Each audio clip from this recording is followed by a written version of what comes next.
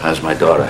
How's Annabeth holding up? Just trying. Now, let's get these on ice. You got a couple of coolers? Starting to see why you are. Very proud. Get the boys out. Ready to start.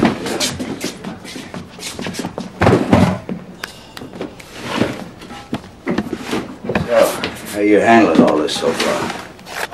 Hasn't really sunk in, Theo. Yeah. It's gonna hurt like hell when it does. My Janie died. Ah, this is no good. Six months. Well, my kids are all grown up. I had that luxury. You, you got domestic responsibilities. Domestic responsibilities. Yeah. You gotta take care of my daughter and those little girls. That's gotta be your first priority now. Oh, you, you figured that might have slipped my mind, huh, Theo? Just needed to be said. That's all. Hey, you'll come through. Because you're a man. Like I said to Annabeth, your wedding day, I said you got yourself a real old school man there. Like they put her in a bag. What's that? That's what Katie looked like when I saw her in the morgue.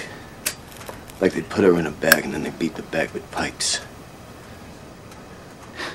Well, I don't know. Janie died in her sleep, all due respect, but there you go. She went to sleep, she never woke up. Peaceful. You don't need to talk about Janie. My daughter was murdered. They put a gun to her. As we stand here, she's on an autopsy slab getting cut open by scalpels and chest spreaders, and you're talking to me about domestic fucking responsibility.